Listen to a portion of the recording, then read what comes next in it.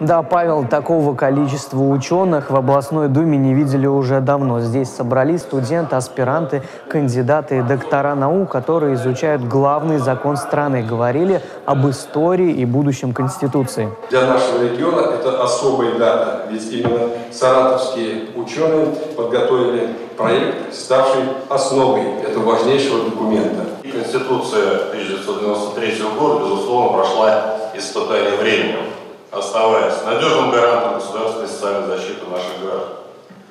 Российская Конституция уже сегодня стала одной из э, долгосрочных, вопреки мировым тенденциям.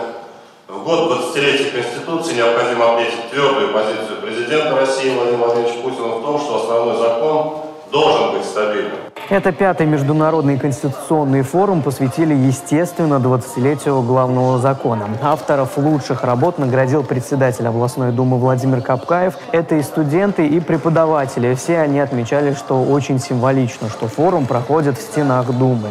Здесь мы видим э, такую не просто символическую, но и реальную связь практики, жизни, то есть теории, конституционной теории и муниципального права, и, с другой стороны, и э, мы видим и практическую такую связь. Форум имеет международный статус, и это не просто красивые слова. Участниками форума стали ученые не только из стран ближнего зарубежья. Интерес к нашей молодой конституции проявили ученые из Ирака, Ирана, США и Нидерландов. Павел.